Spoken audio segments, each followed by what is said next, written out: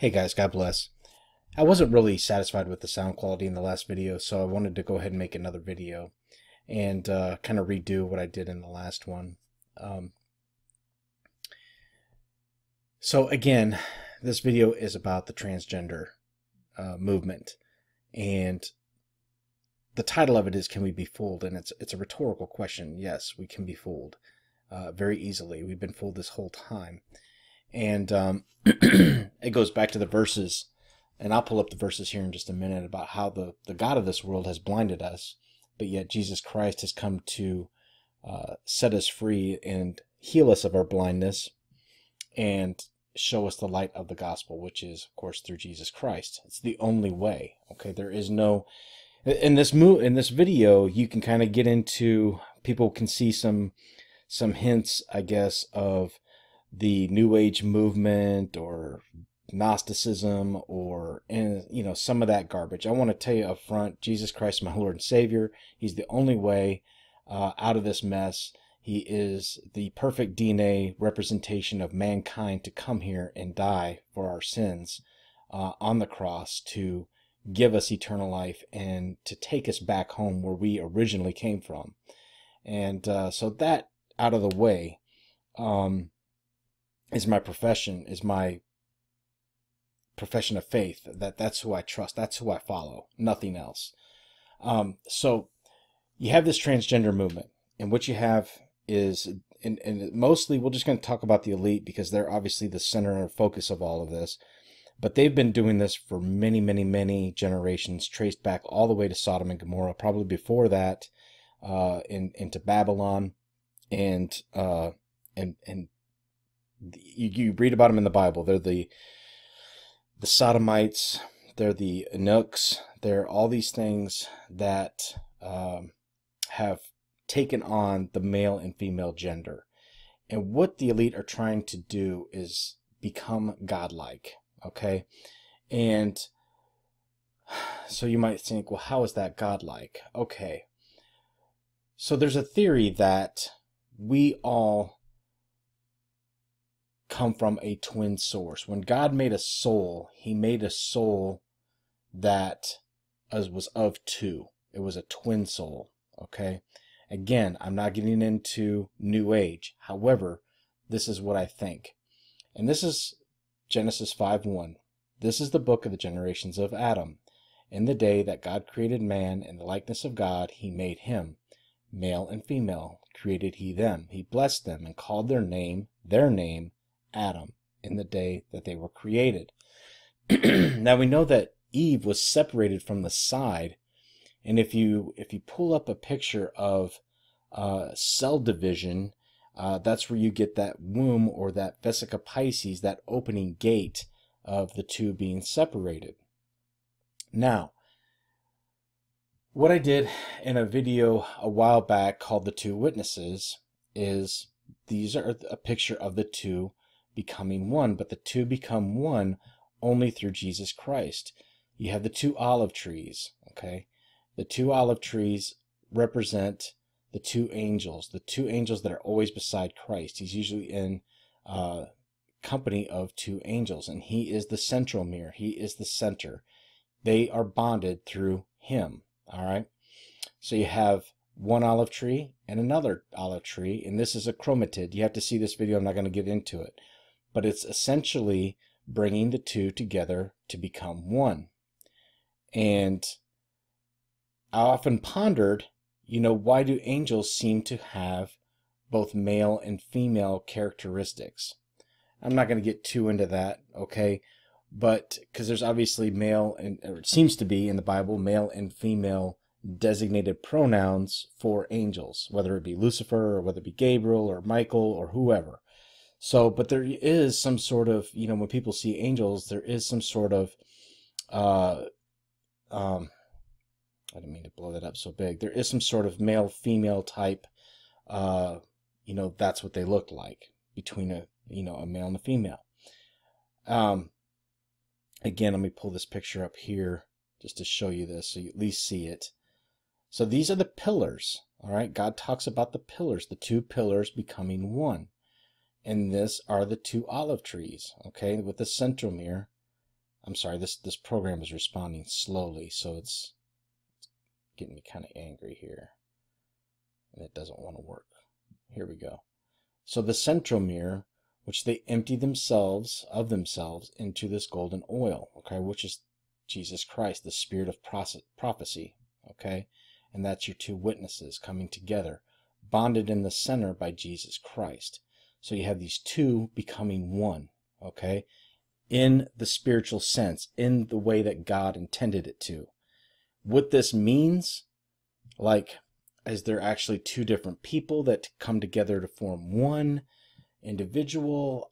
I don't know, okay? But I'm telling you that this is what I'm seeing, okay? That there is some sort of bonding here, the centromere of Christ, who is the center of all these things, bringing the two together, the two pillars. This goes back to the twin towers, the two becoming one. It goes back to, and of course, this is how Satan does the um, the knockoff version. Is he has to do everything through the flesh. He can't do anything through the spirit. This is through the spirit of Christ. Okay, this is, um, and what is it? There's a verse that says, "Not by strength or by power or by might, but by my spirit." That this happens. Okay. And what Satan has done is he's taken a knockoff version of this through the flesh, through surgery, through clothes, through makeup, through uh, acts of of you know of one sexual orientation becoming closer to the other. Uh, and of course, these spirits are whispering to these people and telling them, um, you know, that they are this way, that this is their intention, this is how they were made. And it goes back to, we're all trying to get back to where we came from. This is the original plan of God, not what they are doing today, the knockoff version, which is through the flesh, through the surgery, through the, you know, the manipulation, through trickery, through surgeries, all these different things. Okay, so I wanted to show this just to show you that I'm, I'm, what I'm seeing are these two pillars becoming one in Christ's way, not the way of the enemy. So let me throw this verse up here real quick. Okay, so again, the God of this world hath blinded the minds of them which believe not. And this is this is found all throughout the Bible, how the enemy has blinded. Okay. Um just going to show you a few things here.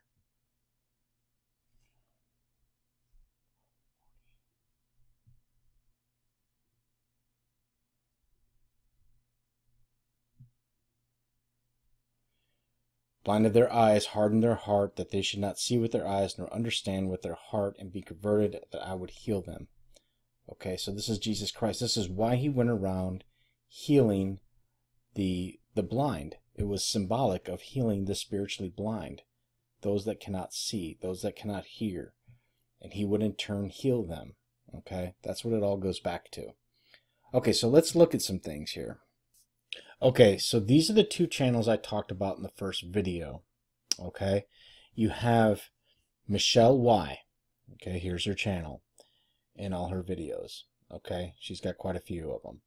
Again, this woman lives in Hollywood. She works in the industry in Hollywood.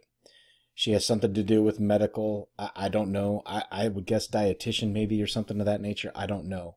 But she has degrees in anatomy, physiology, uh, she speaks in a very scientific way on how these people have tricked us.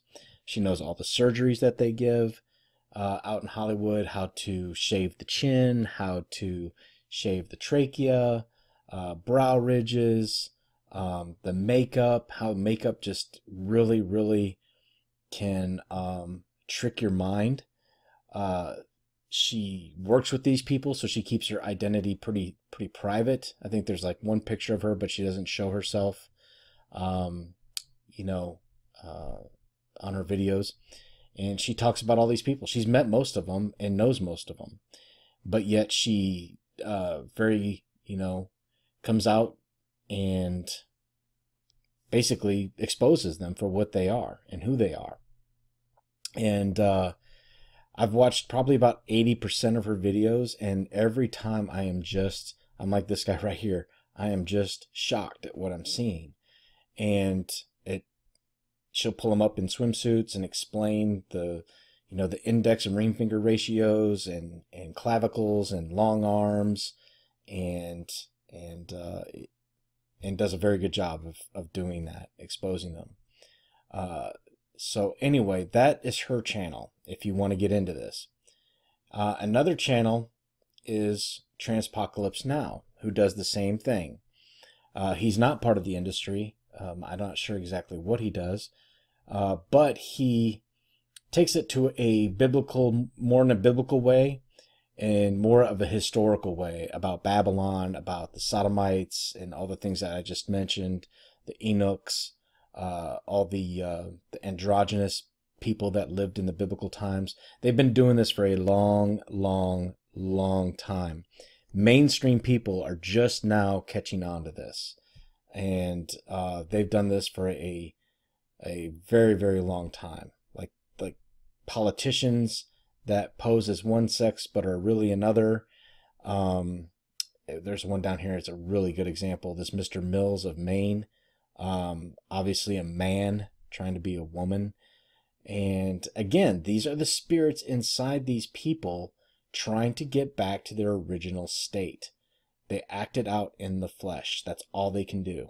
Okay? They can do everything in the flesh. Remember, the flesh is, here's another one um, uh, some sort of you know male to female uh, thing going on, and he breaks down all these. Some of these I I have a hard time with. Uh, some of them I don't. Some are very easy to see. Some really woke me up and shook me up. I was like, "You've got to be kidding me!" You know that I thought this person was one sex or the other.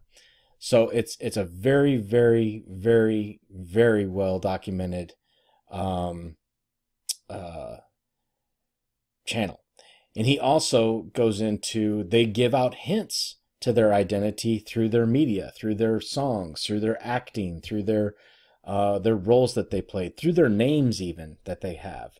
Um, you know, Bullock, you know, just different things. I mean, he goes way in, way into it. So just a couple channels that I would urge you to check out. Now, I'm going to show you some pictures because we all can be fooled. And it, it took a really a good couple weeks for me to really come to grips with all this that this is actually happening and we really have been tricked. So let's take a look at a few things.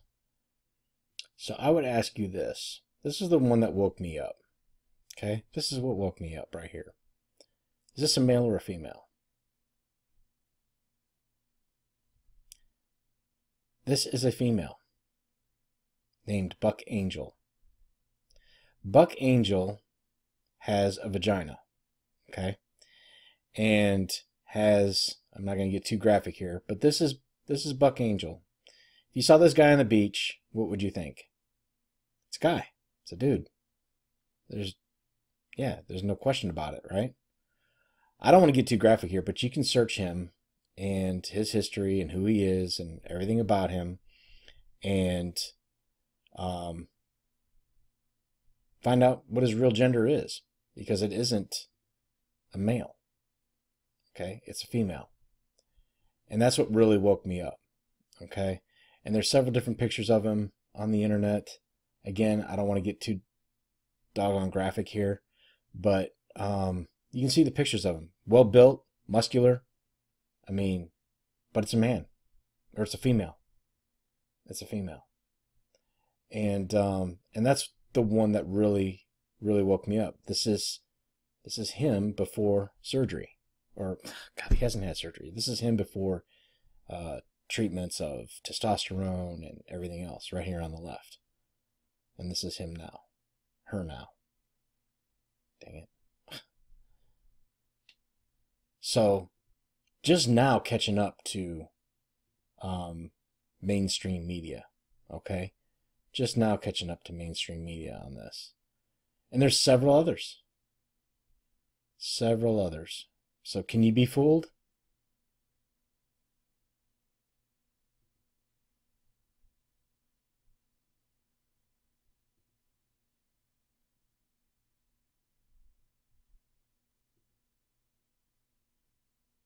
I mean, very well built guys, you know?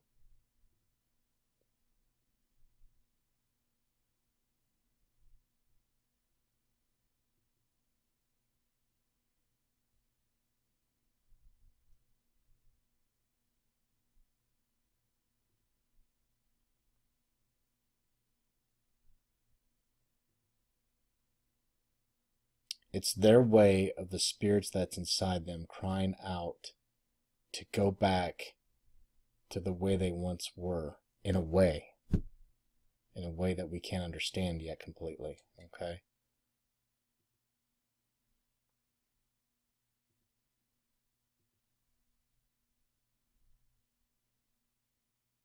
Now, Mr. E thinks that this, the, uh, can't remember the Supreme Court case uh, for this guy, he thinks they were the same person battling back and forth as some sort of ritualistic hoopla that they did, uh, that the elite had to do, or that he had to do to get that position, whatever the case is. I, he goes into it. Um, again, for your discernment. Just going to go through some pictures here real quick.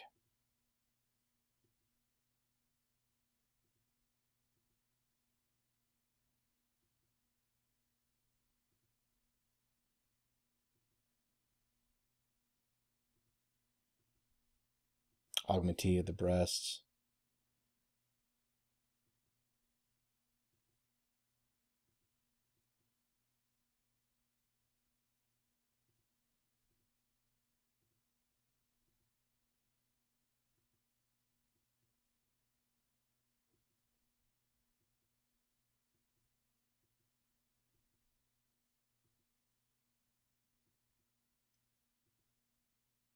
If, if these are just ordinary, everyday type people doing this, you can't imagine what they've been doing. Some say they're doing it in utero now. They can there's drugs that they can do and treatments that they can take in utero to have this done. Um, but it's either way, it's been going on for a very, very long time.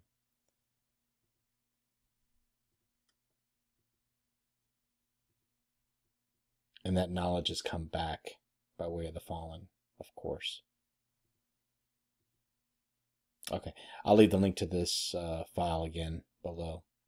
So like like I said in the last video um, about uh, I woke up in the morning and I was thinking all this just like kind of rushed my mind, and uh, I was led to this, um, hearing this in my mind about the Wonder Twins, and I remember Wonder Twin powers activate, you know the whole the whole deal. They would join their hands together, and they could shapeshift or change or have superpowers. So I'll show you a quick video here. I'm not going to play that whole video like I did in the first one. Just going to play a little bit. But I thought it was really interesting that they appeared in October 1977. And it was the seventh um, Super Friends comic that they appeared in. So just, you know, and there, there's other sevens as well in the video. Issue number seven, October 77. Um, and of course, they're kind of uh, odd gifts slash um, start.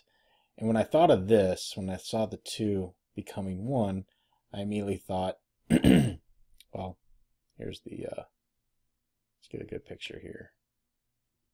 Something like this. I immediately thought of our chromosome, the two becoming one with Christ in the center.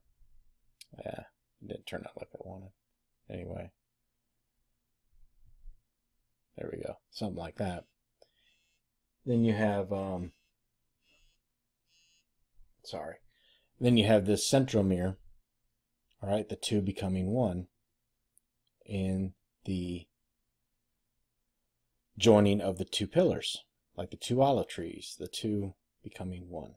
So I think what they are trying to do, and when I say they, I mean the elite, are trying to duplicate again, always duplicating or replicating what God has in store.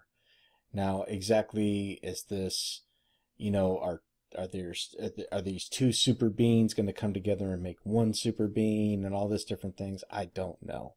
That's that's I have no idea. Okay, I'm just telling you what I've seen and what the Holy Spirit has led me to believe. And this was evident when I did this video on the uh, the two witnesses it was it was absolutely not on my account. I couldn't have thought of any of this. Okay, I'm not. I'm, I have no idea what the Lord does sometimes, but this is what He was showing me. Okay, the two pillars and of course, the two, the the towers becoming, you know, one. They're trying to replicate this DNA. Um, okay, so let's listen to this video real quick and we'll close this out. I thought this was kind of interesting. Take a listen.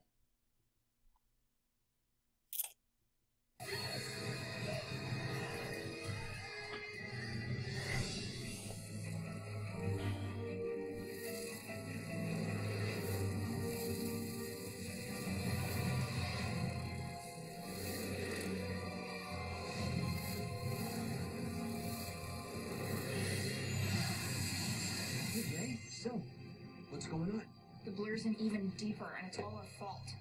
Well, then what are we waiting for? Well, we can't just ditch Chloe. We promised her we'd lay low till this all blows over. She said sometimes you need to save a hero, even from himself. Dad always used to say we're stronger when we stick together.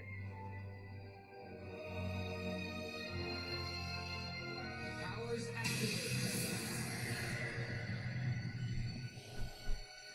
Yes, hold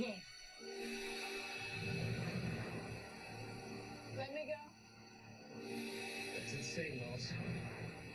You can't reveal yourself to the cameras. You mean too much to the city. To the world. Clark. I know that you've been living two lives and having to lie to me about it every day. Wells, you're not making any sense.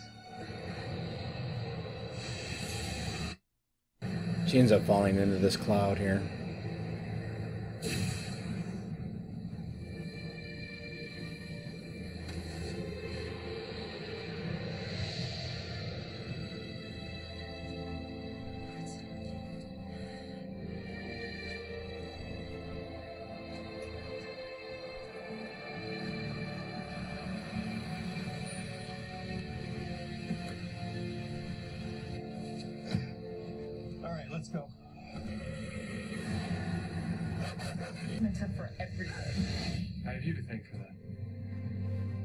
So they go on, and that's pretty much it there. Oh my god.